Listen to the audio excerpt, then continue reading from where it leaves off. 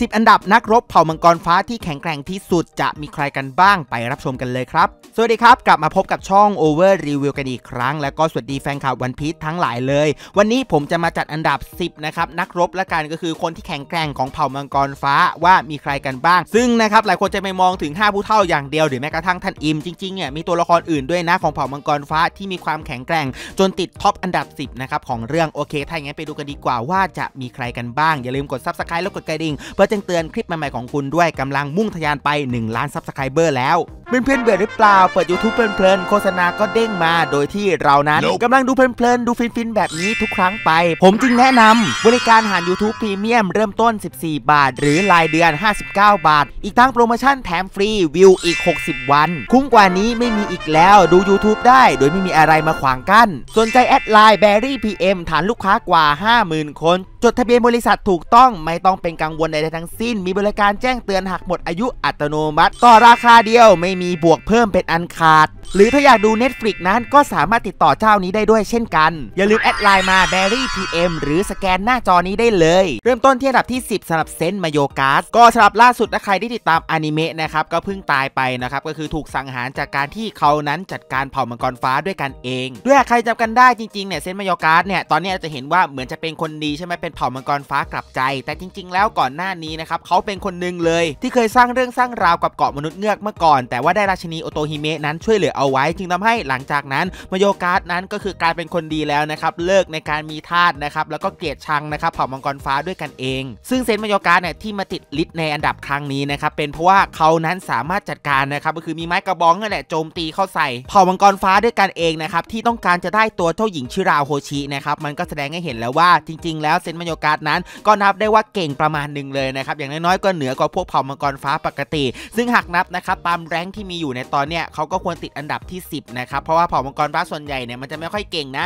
คือเก่งก็เก่งเวอร์ไปเลยนะครับไม่เก่งก็ไม่เก่งเลยนะครับจึงทำให้ถ้าหากนับอันดับแล้วเซนมาโยกาสนั้นก็ควรอยู่อันดับที่ 10สำหรับการจัดอันดับครั้งนี้ ไปต่อที่อันดับที่ 9สำหรับดองกิโฮเต้โรซินันเต้อดีตหนึ่งในเผ่ามังกรฟ้าที่พ่อกับแม่ของเขานั้นตัดสินใจที่อยากจะมาเป็นมนุษย์ปกตินะครับจึงทำให้โรซินันเต้หรือคุณโคลาซอนนั้นเนี่ยก็คือก็ต้องกลายมาเป็นมนุษย์ปกตินะครับซึ่งเขานั้นถามว่าเก่งไหมก็เก่งระดับหนึ่งนะ เพราะอย่างน้อยๆนะครับก็เป็นทหารเรือนะครับในยศนาวาโทก็คือได้รับการเลี้ยงดูนะครับจากจอมพลเรืออย่างเซนโงคุมา โดยคุณโคลาซอนนั้นเนี่ยจะเป็นผู้ใช้พลังผลปีศาจอย่างผลนางงี้นางงี้นะครับพลังผลปีศาจสายพรามิเซีย ที่สามารถสร้างอาณาเขตทำให้เสียงนั้นไม่สามารถเล็ดรอดเข้าหรือว่าออกไปได้ ซึ่งจริงแล้วถึงแม้เราจะมองว่าคุณโคลานั้นเนี่ยโอเค ไม่ได้เก่งมากมายอะไรนะครับแต่อย่าลืมว่าเขานั้นอยู่ในฐานะสปายหรือว่าสายลับ มันต้องมีเทคนิคนะครับหรือว่าฝีมือนะครับทักษะการต่อสู้เนี่ยต้องดีประมาณหนึ่งเลยเพราะว่าสายลับนั้นมันต้องพลิกแพลงในการต่อสู้ในหลาย ๆ จังหวะ ไปต่อที่อันดับที่ 8สำหรับดองกิโฮเต้โดฟามิงโก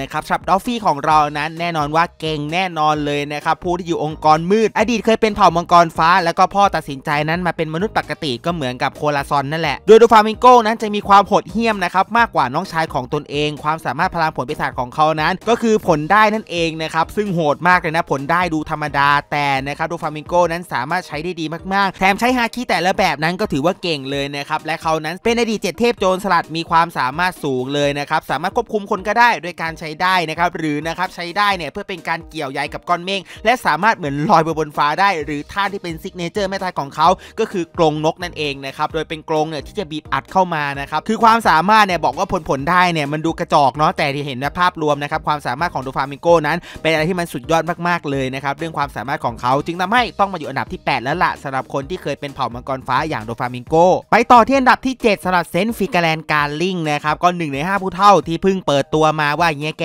นั้นเนี่ยเป็น 5 ผู้เฒ่าคนใหม่นะจ๊ะนะครับโดยฟิกาแลนการลิงนั้น จริงๆเนี่ยเก่งมาตั้งแต่หนุ่มแล้วนะครับทำลายทุกสถิติเลยสมัยหนุ่มๆ และเป็นอีกหนึ่งบุคคลที่อยู่ในเหตุการณ์ในตำนานอย่าง God Valley ด้วยนะครับซึ่งเราก็ไม่รู้นะว่าไอ้วันนั้นเนี่ยมันเกิดอะไรขึ้นกันแน่แต่การลิงนั้นก็มีบทบาทพอสมควรเลยล่ะและล่าสุดนะครับก็ได้รับตำแหน่งในการเป็น 5 ผู้เฒ่าแทนที่ของผู้เฒ่าอย่างเซนเจกาเซียแซตเทิร์นและก็ดูเหมือนว่าจะได้รับความไว้วางใจนะครับจากอิมสูงด้วยนะอิมนั้นมอบหน้าที่ที่นะครับหลักๆให้กับการลิงในการดูแลนะครับน่าสนใจเลยว่าการลิงนั้นสรุปแล้วเนี่ยเป็นใครกันแน่นะครับเป็นญาติอะไรกับแชงค์หรือเปล่า หรือว่าเขานั้นมีความสามารถอะไรนะครับที่เหนือไปกว่านี้หรือไม่ แต่แน่นอนว่าถูกดีกรีนะครับว่าเป็น1ใน5ผู้เฒ่ายังไงก็ควรอยู่อันดับนี้ แต่ด้วยความที่ว่าเพิ่งเป็น5ผู้เฒ่าคนใหม่มา ผมก็เลยขอจัดเอาไว้ในอันดับที่ 7 ก่อนนะครับไม่ให้แซงหน้าคนอื่นไปก็อันดับที่ 6 ถึงอันดับที่ 2 นี้อันนี้แล้วแต่คนจะจัดเลยนะครับเพราะว่าจริงๆเนี่ยห้าผู้เฒ่าเนี่ยมันก็ tier เดียวกันระดับเดียวกัน แต่อันนี้เนี่ยผมเอาเป็นแบบว่าตามสไตล์ผมแล้วกันผมคิดว่าใครนั้นจะเหนือกว่าหรือน้อยกว่าเดี๋ยวทุกคนก็ลองจัดดูนะ อย่างอันดับที่ 6 ที่ผมให้นั้นก็คือผู้เฒ่าอย่างแซทเทิร์นนั่นเอง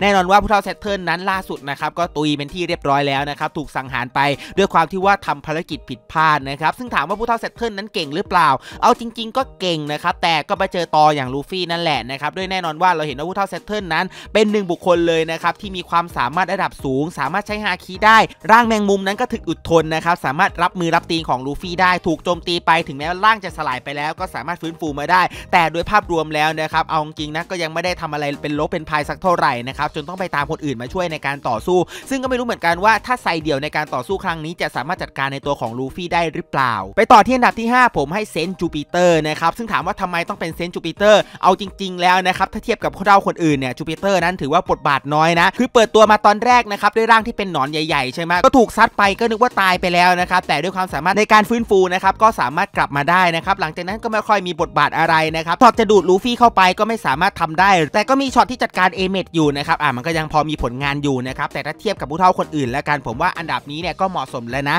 สำหรับผู้เฒ่าอย่างเซนจูปิเตอร์และไปต่อที่อันดับที่ 4สำหรับเซนมาคัสมาร์ตนะครับโดยเซนมาคัสมาร์ตนั้นก็จะเป็นผู้เฒ่าที่เป็นนกนั่นแหละที่สามารถบินได้ จริง ๆ เซนมาคัสมาร์ตก็นับได้ว่าแข็งแกร่งพอควรเลยนะครับเพราะว่ามีช็อตที่สามารถโจมตีเจาะ barrier ที่โคตรแข็งแกร่งนะครับอย่างลาโบเฟสเนี่ยแตกลงไปได้ ซึ่งอันนี้ถือว่าความสามารถโหดมากๆเลย หรือมีช็อตนะครับในการปล่อยพลังออกมานะครับซึ่งก็อาจจะเป็นไฟนะอันนี้ผมไม่ sure นะครับต้องไปดูอนิเมะอีกที น่าจะเป็น feeling ไฟเนี่ยโจมตีเข้ามานะครับพวกคนยักษ์นั้นเนี่ยถึงกับต้องเอาโล่มาปัดป้องกับความรุนแรงนะครับการโจมตีของผู้เฒ่านะครับอย่างเซนมาคัสมาร์นะครับแต่นะครับก็ไปเสียท่านิดนึง ก็คือถูกลูฟี่นั้นซัดนะครับกระเด็นไปไกลแล้วก็เป็นทั้งเตะท่านะครับอยู่ที่เมริโจเป็นที่เรียบร้อย แต่ถ้าพูดถึงภาพรวมเรื่องความสามารถนั้นถือว่าเก่งเลยนะครับก็คือถ้าถูกโจมตีจริง ๆ แบบเต็มแรงเนี่ยมันก็ยากมากเลยนะครับที่จะรับมือได้กับการโจมตีที่รุนแรงขนาดนี้ แล้วก็ไปต่อที่อันดับที่3สำหรับเซนต์เวอร์เคอรี่อีกหนึ่งผู้เฒ่าสุดแข็งแกร่งเลยนะครับที่เป็นหมูป่านั่นแหละ โดยความสามารถหลักๆ นั้นสามารถโจมตีด้วยฮาคิเกราะได้ แล้วก็ฮาคิราชัน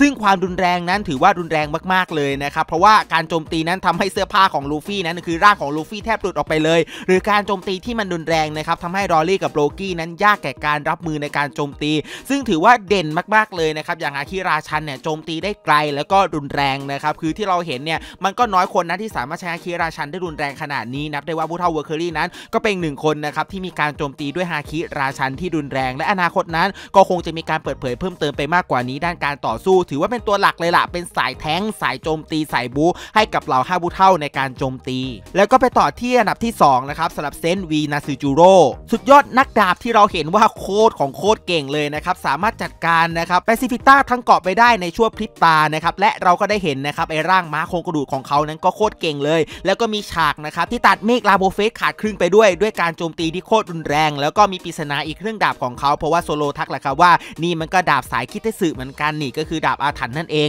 ก็คือเป็นหนึ่งบุคคลเลยนะครับที่ปูมายังไงก็เทพนะครับสำหรับผู้เฒ่าอย่างวีนาซูจูโร่เป็นตัวหลักเลยล่ะด้านการโจมตีนะครับซึ่งโอเคตอนนี้อาจจะไม่ได้เห็นพลังทั้งหมดที่มากมาย แต่ด้วยดีกรีที่เราได้เห็นความสามารถต่างๆ การใช้ฮาคิของเขายังไงนะครับก็เป็นหนึ่งตัว top ตัวตึงเลยล่ะของฝั่งเผ่ามังกรฟ้า แล้วก็ไปที่อันดับที่1 แน่นอนไม่ใช่ใครที่ไหนนะครับท่านอิมคนดีคนเดิมของพวกเรานั่นเอง ก็อิมนั้นถามว่าเก่งแค่ไหนนะครับแน่นอนว่าเก่งนะครับเปิดๆเป็นลาดบอสของเรื่องเลยได้ซ้ำซึ่งเราได้เห็นได้ชัดเจนเลยว่าอิมนั้นสามารถมอบชีวิตนะครับแล้วก็ยึดชีวิตให้กับคนอื่นได้การโจมตีก็รุนแรง อย่างเช่นซาโบที่เป็นพลังผลปีศาจไซโรเกียนะครับก็ถูกอิมจัดการลงไปได้อย่างง่ายดายก็คือโจมตีให้บาดเจ็บได้ ซึ่งเท่ากับว่าฮาคิของอิมนั้นคงเป็นอะไรที่มันสุดยอดมากๆเลยนะครับและนะครับอิมนั้นยังมีความสามารถในการมอบหรือว่ายึดชีวิตคนอื่นได้ที่ผมพูดไปนี่ยังไม่นับรวมอาวุธที่เขามีนะครับอย่างอาวุธโบราณที่สามารถโจมตีได้ด้วยนะครับก็ครบครันเลยล่ะตามสไตล์ดีกรีบอสนะครับคงไม่มีใครเถียงแล้วครับว่าถ้าถามว่าในเผ่ามังกรฟ้า ใครกันนั้นเป็นผู้ที่แข็งแกร่งที่สุด ก็คงจะหนีไม่พ้นสำหรับท่านอิมนั่นแหละก็ทั้งหมดนี้เป็น 10 อันดับเผ่ามังกรฟ้าที่แข็งแกร่งที่สุดในเรื่องวันพีซซึ่งเชื่อได้ว่าอาจจะมีนะครับบางคนคิดว่าอันนี้น่าจะอยู่อันดับนี้มากกว่า